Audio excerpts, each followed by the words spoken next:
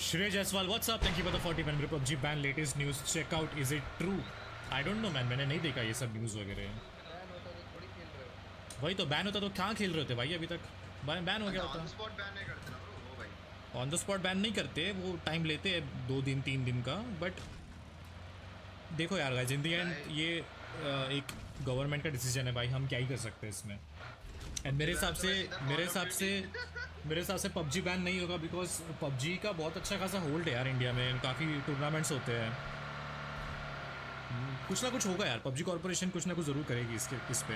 So don't worry अगर ban होता भी है तो हाँ बैन अगर होता भी है तो हो जाएगा। मैं क्या बोल रहा था ये बोल रहे हैं कि इंडिया में पबजी बैन हो रही है। मैंने कहा भाई इंडिया छोड़ देंगे।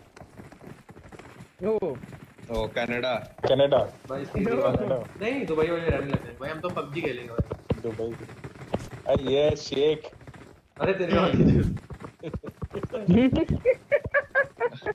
भाई कोई दिक्कत नहीं पबजी शेख मवी हरमन तेरी माँ की आशीष भाई सी गेमिंग अखाड़ा इंस्टा स्टोरी आशीष भाई जिस दिन मोदी जी स्टोरी डालेंगे हम उस दिन देखेंगे। भाई न्यूज़ में कंफर्म न्यूज़ अनाउंस होगी तब की। तब तब बात करेंगे, तब भी क्या ही बात करेंगे। बैन हो गया हो गया यार, बात करने लायक। इसमें आप या मैं बात करके क्या ही कर लेंगे, मेरे को बता।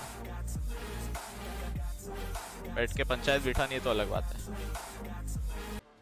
एकदम ध्यान से सुनना, सब ध्यान से सुनना।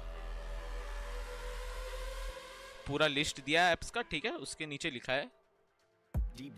डबल इन्वर्टेड कॉमर्स में।